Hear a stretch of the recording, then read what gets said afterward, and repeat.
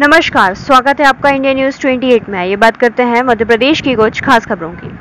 छिंदवाड़ा में रेलवे संबंधित तीन मांगों को लेकर कांग्रेस द्वारा क्रमिक भूख हड़ताल जारी।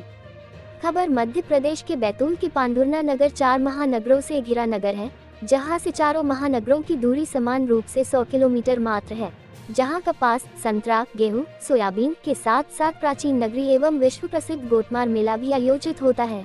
जिसे देखने देश तथा विदेश से भी लोग पांडुरना आते हैं। पांडुरना नगर से देश की सबसे बड़ी railway line grand front track road गुजरता है, जहाँ पूर्व में 35 एक्सप्रेस ट्रेनें।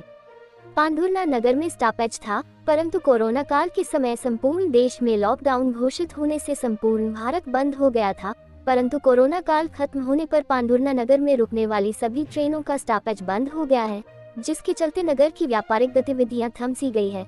साथ में शिक्षा व्यापार मेडिकल जैसी आवश्यक गतिविधियों पर जैसे सुविधाएँ बाधित सी हो गई है, जिसके चलते अनेक बार सामाजिक संगठनों द्वारा भी ट्रेनों की स्टॉपेज को लेकर मांग उठाई गई थी, परंतु चार वर्षों के बाद भी ट्रेनों का स्टॉपेज नहीं होने से कांग्रेस कमेटी द्वारा तीन सूत्रीय मांग। नागपुर भुसावल वाया इटारसी दादा धाम एक्सप्रेस एवं नागपुर रीवा एक्सप्रेस ट्रेनों को पांडुरना रेलवे स्टेशन होकर पूर्वानुसार पुनः चलाने। नागपुर मध्य रेलवे के माध्यम से चल रही एक्सप्रेस ट्रेनों का पांडुरना स्टेशन पर पूर्वानुसार पुनः शुरू कराने।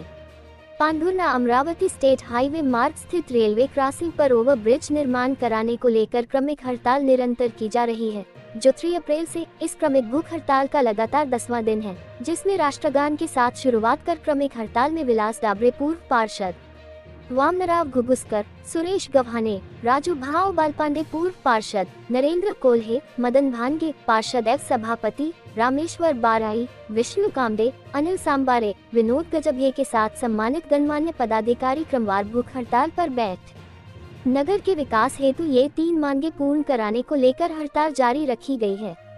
पांडरुल्ला सिटी रिपोर्टर मनोज गुद्दे की रिपोर्ट।